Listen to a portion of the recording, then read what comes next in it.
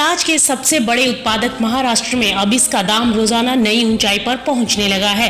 जुलाई और अगस्त के मुकाबले अक्टूबर में रेट काफ़ी बढ़ गया है। वहाँ की पीपल गाँव मंडी इसका अधिकतम रेट सैंतीस सौ तिरपन प्रति क्विंटल तक पहुँच चुका है।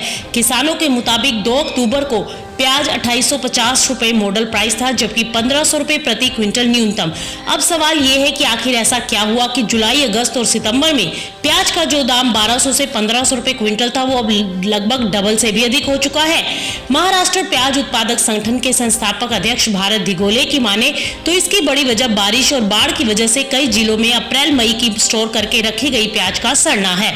इस साल मराठवाड़ा क्षेत्र के बीड़, औरंगाबाद, उस्मानाबाद और लातूर आदि में रखी गई प्याज भी गई है या उसमें नमी आ चुकी है। नासिक, अहमदनगर, धुले, सोलापुर और जलगांव में भी काफ़ी किसानों की प्याज सड़ गई है, जिसकी वजह से दामों में तेज़ी देखने को मिल रही है।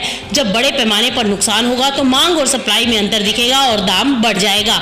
ऐसे में आपको बता दें कि एशिया की सबसे बड़ी लासल मंडी में प्याज का अभाव लगातार बढ़ता हुआ दिखाई दे रहा है। Bureau report, Market Times TV.